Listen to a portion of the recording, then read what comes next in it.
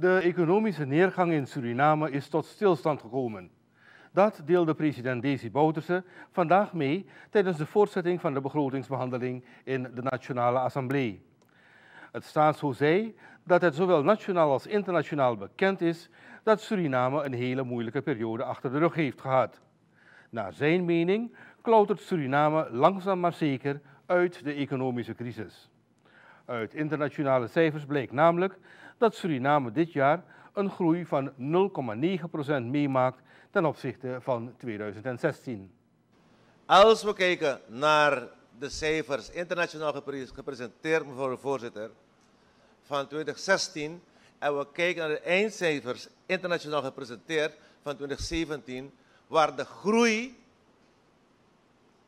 van de economie van Suriname 0,9% wordt gecalculeerd, dan begrijp ik wel dat er mensen uit politiek gewin wel vinden dat het slecht moet gaan met het land, maar op basis van de getroffen maatregelen, op basis van de offers gebracht, geeft nationaal en internationaal aan dat eind 17 een groei zal zijn van 0,9% voorzitter.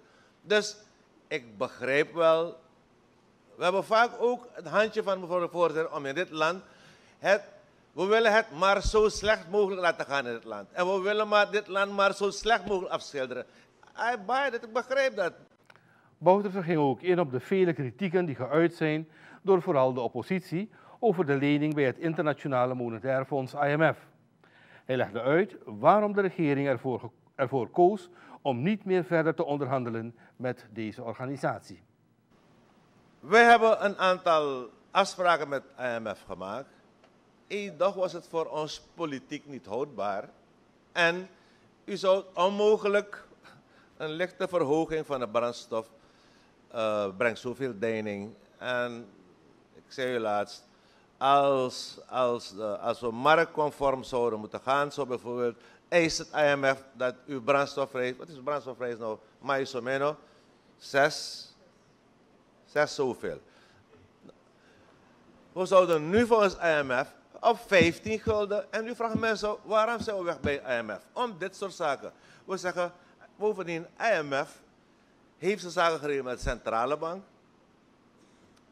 We hebben gezegd, wij, wij werken en kijk IMF, op het moment dat u het nodig vindt om de draad weer op te pakken, dan gaan we verder. Nu vindt u, we moeten weer het tempo waarin IMF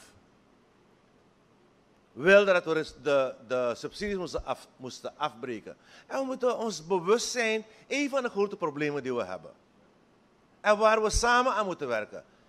Wij betalen 2 miljard aan subsidies. 2 miljard. Dus het is de taak van ons om te kijken hoe wij verantwoord de subsidies gaan afbouwen. President Bouterse vandaag tijdens de voortzetting van de begrotingsbehandeling in de Nationale Assemblée. Hij gaf onder andere een uiteenzetting over de status van de Surinaamse economie.